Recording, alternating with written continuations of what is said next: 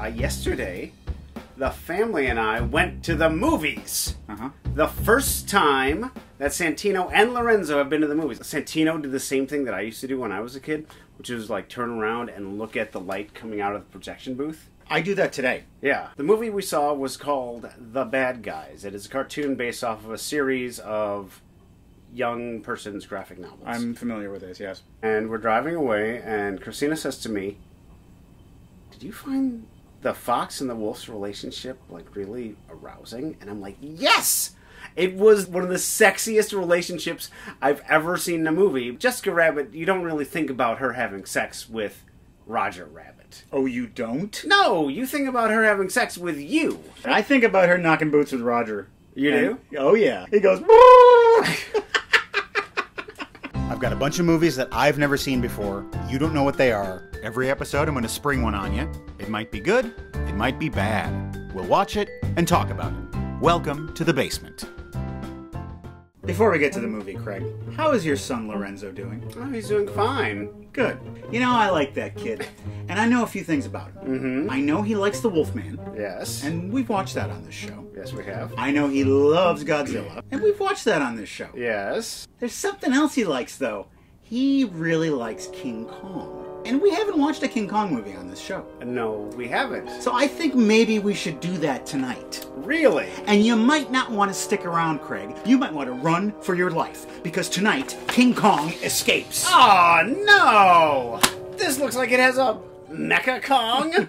I believe he's Mechani-Kong. Mechani-Kong. Released in 1967, KKE was directed by basement alum Ishiro Honda. Hey! and stars Rhodes Reason, Linda Miller, basement alum Haruo Nakajima as the titular ape, and basement alum Mi Hama, who previously appeared in the James Bond film You Only Live Twice. Oh. This was a joint production between Toho Studios and Rankin Bass.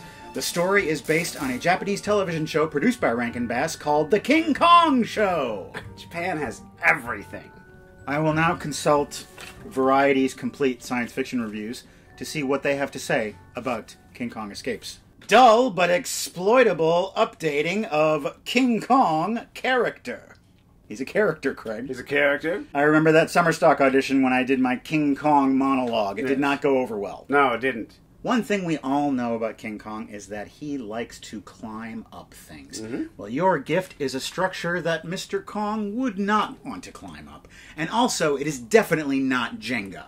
It is Tumbling Tower Game. which in certain parts of Canada is Je de tour de. Your French pronunciation is impeccable. Merci. Burst your bonds, friends, and drag those knuckles on over to the old leather couch where we'll be settling in for a bit of Japanese sci fi enjoyment as we watch King Kong Escapes.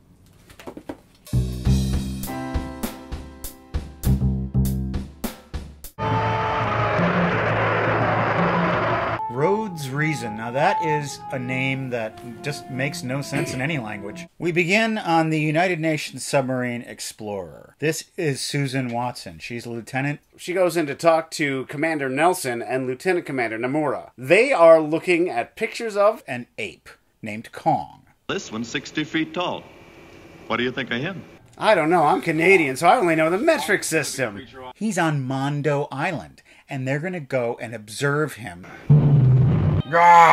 Meanwhile, a bad man is making plans. Doctor Who! But he's not a time traveling fun guy. He's an evil Japanese madman The world is ours. who has created a mechanical Kong. He's working with this woman, Madam X, She works for a country. a certain country that shall remain unnamed. Remember, my country buys results. And she's interested in Element X. That's a rare new element that would allow anyone who possessed it to control the world. Obtain Element X, Doctor Who, and you Who are you? succeed. My government insists you succeed. I really want to know. You Who understand? are you? My robot Kong is in position. Mechanic Kong is totally stoned. You can tell just by looking at his eyes. Crash, rumble. They send the robot monkey under the ground. to dig for the precious element, and he breaks down because magnets hurt. The magnetic mass has destroyed his circuits. You've disappointed me, Doctor Who. My country, that I'm not going to tell you what the name is. Our country is withdrawing all aid, Doctor. I'm going to find the real Kong. He's not made out of magnets. I must ask that you reconsider. Too bad, so sad, bye bye. Meanwhile, the Explorer has been damaged. All stations, report your damage. Heather, what's your damage? Repeat. What's your damage, Heather? The rudder's not working properly. They need to surface so they can repair it. The three of them take their little hovercraft ashore just to look around a bit. This little guy runs out and he's saying, Get out of here. Don't come around here. Kong is here. He says that it's taboo and that it must not be broken. He's also saying some filthy things about my mother, which I don't appreciate. Bong. James Bong. The natives call him King Kong. He likes to play ping pong with his ding dong. I had that joke developed when I was five years old. Just waiting here. You're a prodigy, my friend. Pulling it out of the pocket right now. This dinosaur comes bumbling by. He makes a big ruckus. And guess what that does? That wakes up Kong. You, me, we've had this date for a long time. He sees Susan and he falls in love with her because she's a blonde lady. He picks her up, he makes goo goo eyes at her, and she screams.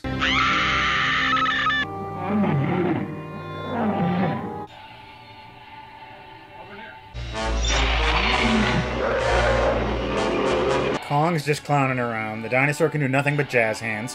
How is this fight even going to happen?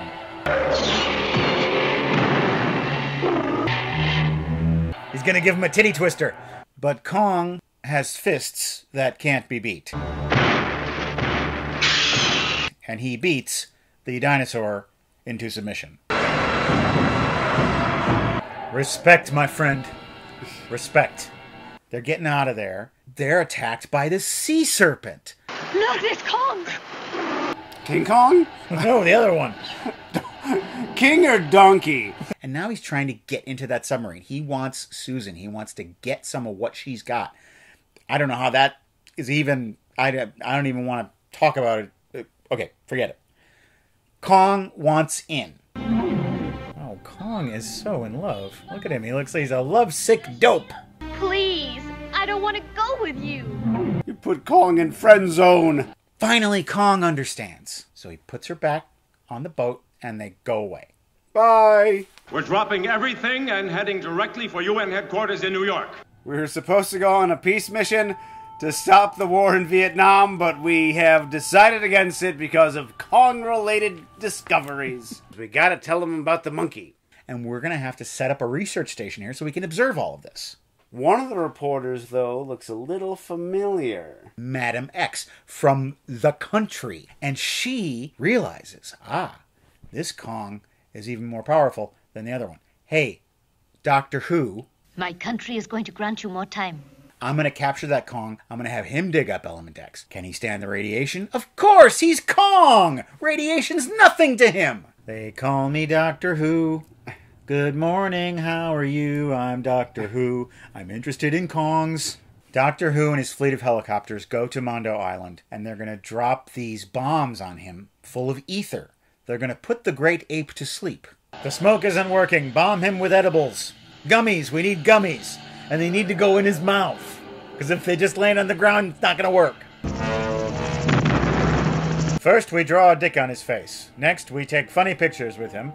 And then we take off and leave.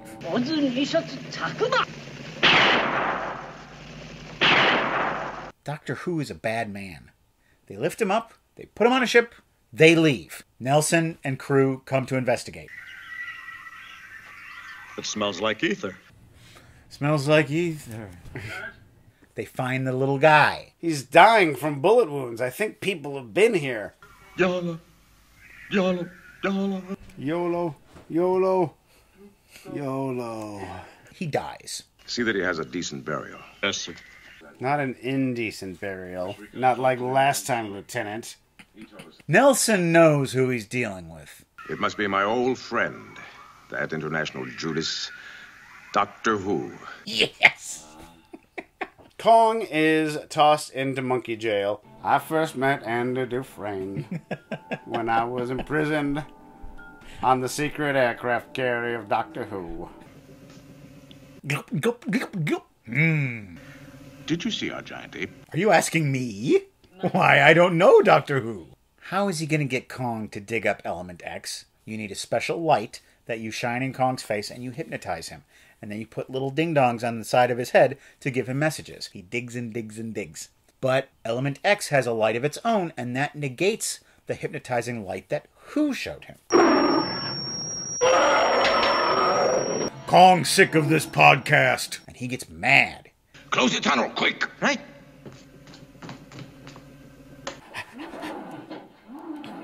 A Japanese aircraft is calling the commander. I will connect you, sir. Mmm, mushy mushy. Our trio is rather effortlessly kidnapped by some of the minions of the Doctor. You'd steal Niagara Falls for a drink of water. You'd steal Niagara Falls for a funny barrel stunt. You'd steal Niagara Falls for an old fashioned honeymoon. You'd steal Niagara Falls so you could be in the United States and Canada uh, quickly. That you could go back and forth between them quick, quickly. That's Matt, Matt, don't, don't worry. They're immediately imprisoned. Nelson is taken out to have a romantic drink with Madam X. Hello there. Hello, Miss Moneypenny. My dear, we can easily get to all the world capitals London, Paris. New York, London, Paris, Munich. Everybody talk about mm, pop music. Ian J. Gross. Carl, What who? may I see you outside? Where who? Ah! Why who? And Nomura and Susan are kept in their cell where cold, frigid air is pumped in. They're going to freeze them to death. Doctor Who and Nelson play a little game of chess. You can save their lives, but you have to work for me. And we're going to help Madam X and her country of origin rule the world. Let's see what the ice will do to your lovely skin. Hmm? It can actually like rip off your skin if it's cold enough. That's why I look so horrible. Kong can sense that Susan is in danger and he starts Konging out. King Kong, massive, powerful, with the strength of 100 grape apes. It's time to activate Mechanica Kong. That's not right. He goes after the hairy Kong. Totally baked. Totally baked. I'm leaving. She doesn't like Doctor Who. It's just that my country. We can't stand an international incident right now. I'm so sorry my country wasn't right. What country? Just tell us. So she frees the three heroes to hopefully stop King Kong. Kong gets to Tokyo. Stop your attack immediately. I'm sorry, who are you? Who are you? Oh, thank you. I'm Commander Carl Nelson, captain of the UN submarine Explorer. Ooh. Ooh, big time Nelson. He likes Susan. She'll be able to calm him down. Let me go! He loves me. He's my boyfriend. She talks to Kong. He picks her up. It's nice. And then Mechanica Kong comes by and he messes it all up. Kong! Mechanic Kong! Fight! There's a giant fight on top of the tower. I need a Rachel unit. Order it. A Rachel unit? Don't send me a Ross or a Phoebe unit. Those are useless to me. Doctor Who and Madam X are having a confrontation. She died for her country, whichever country that is. That's right. And she'll be remembered as the woman with no name. Susan, don't worry. We're just about there. to death. We're almost dead. This will all be over soon. Who knows who's going to win? You know who's going to win. Mechanical Kong is knocked off and he shatters like the collection of tin cans that he is. What up?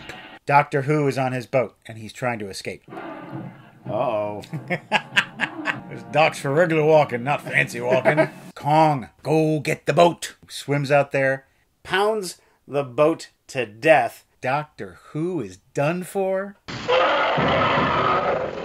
Kong swims back to Mondo Island. Kong! King Kong! Yes, King. I think he's had enough of what we call civilization. And that is how King Kong escapes.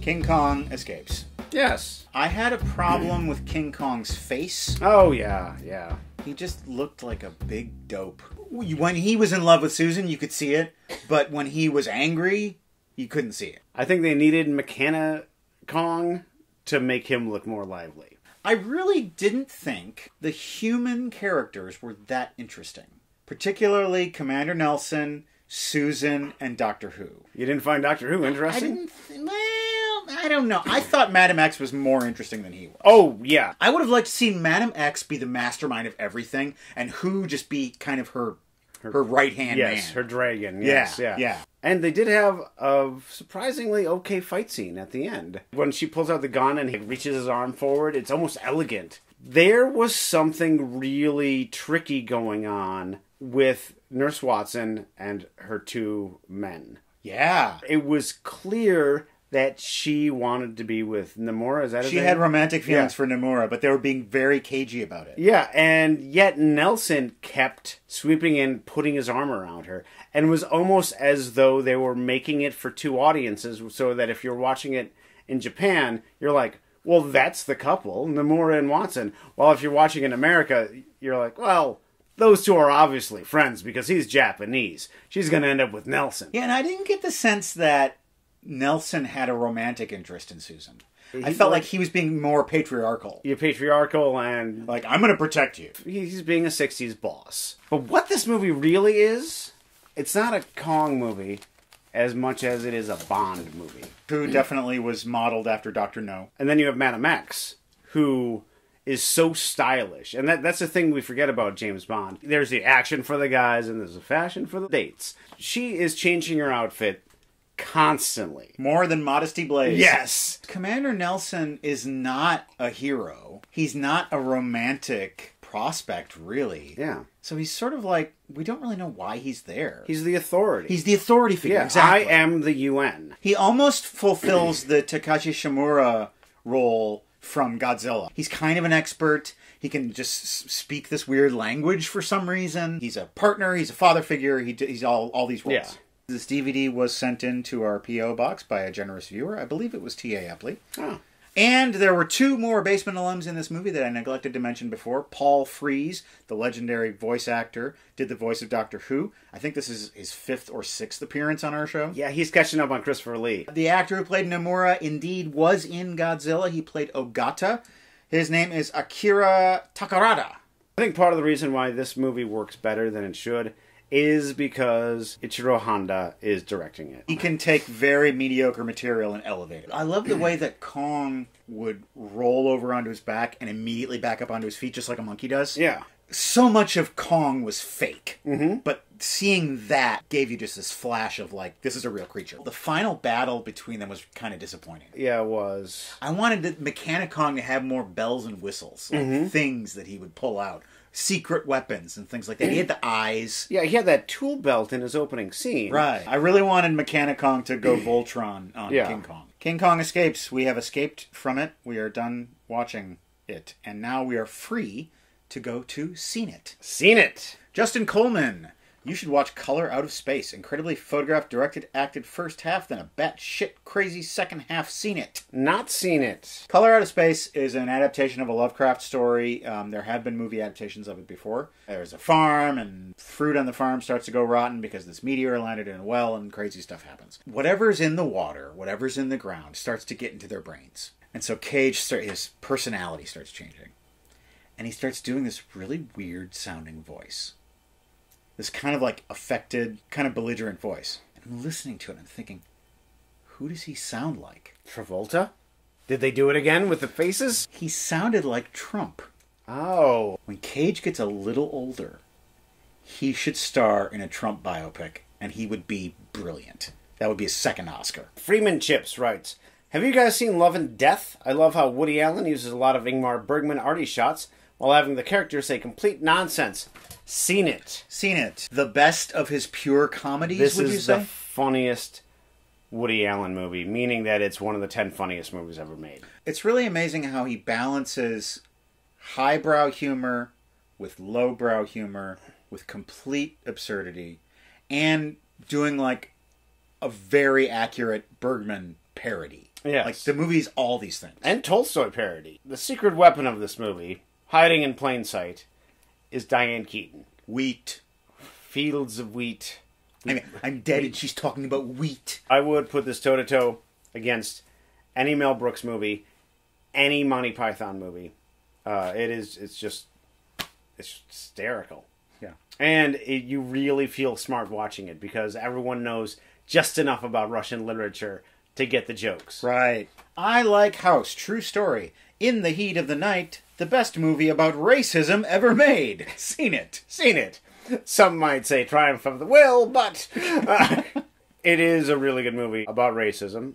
It's also a really good murder mystery story, which of course it has to be to elevate the lessons of the movie. It's a good buddy cop movie mm-hmm. where they start out they're not buddies at all. No, it deals with a lot of nuance. There's really no one, no white person in the movie that thinks, I'm going to give this guy a chance because he's a fellow human being. They want something out of him. There's all these levels and grades of racism going on. Sure. And I think a really good way to portray racism is to show those levels, is to show that people, there are some people who are bad to the bone. There are some people who are just ignorant. There are some people who are good people, but they just are old fashioned or they have a blind spot or something like that. Yeah. You see all of these facets of this problem. And also, no clear solutions. And Rod Steiger acts with gum.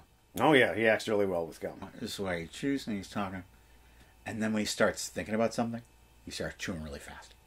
Yeah. Or stops chewing And he stops chewing entirely, and then you know he's figured it out. I don't know the history of gum. when did gum become a thing? I just rewatched Willy Wonka, and there's one of the four bad kids. Other than Vanity, her crime against humanity is gum chewing. When we were kids, gum was a bigger thing than it is now. It was, and it was like it was like smoking. yeah, and it was loud and it was obnoxious. And you would take the gum and drop it on the sidewalk, and people would get it stuck on the bottom of their shoe. Yeah. Or you would take the gum and put it on the bottom of the desk, and you're being a nuisance. So Roald Dahl was like, I'm gonna kill her. I'm gonna make her into a blueberry and she might survive. Jessica Minster. Have you guys seen The Green Knight? I couldn't stand this movie, and it was probably the worst thing I've seen in a theater in a long time. I love this movie, Jessica. I watched this a couple nights ago, and Jessica, I totally agree with you. I hated it. Okay, I'm not gonna get this whole movie. And then you just have to be like, okay, I'm just gonna lean back and enjoy the bath. This really had the potential to be really cool. It's a knight. He's going on a quest. It's sort of hallucinatory and weird, and we have and those those chapter headings. Mm-hmm. I thought that was a really neat storytelling device. But just right away, I'm just watching it and thinking, I don't know what's happening. I don't care. I didn't think Dev Patel was a good choice for the lead. I didn't think he quite nailed it. One thing I didn't like about the movie is about midway through, he takes some hallucinogenic mushrooms. He doesn't know they're hallucinogenic. And you don't know when it ends. Yeah. Also, you can't tell the difference between that and the rest of the movie. It doesn't get any weirder then. Uh, other than, of course, he sees gigantic new giants, which are in the book. So it's arguably a, a dream for the rest of the movie. So it's a confusing thing to put in. What is this? Kong, Kong, Kong, Kong, Kong, Kong, Kong, Kong. Kong. Hey, you should go to our website, welcome to thebasementshow.com. There are all of our episodes there, the entire back catalog for you to peruse. And there are PayPal donation buttons that you can click on and make a one time or rolling monthly donation to support our show. This helps our show, it helps us bring this content to you. A lot of our rolling monthly donors, they donate two or three dollars per month. It's very low amounts, but every little bit helps. Yes. I have a one time donor here who writes, I would like to donate anonymously. You've got it, friend. Thanks, Jerry.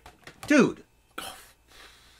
You can also watch Unboxing, which comes out this coming Friday. That is more Craig and Matt chat. And we have all kinds of surprises and fun. And boxes. Take a look at that, and right now, take a look at this.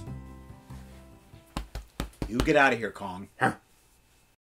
Put me down, Kong. Okay, now you gotta give him a treat right away, or else he won't know that he just did a good thing. You gotta give him a treat right away. See, You're not doing it, he's not gonna learn. We need to get Jackson Galaxy in here to, to show these people how to handle Kong.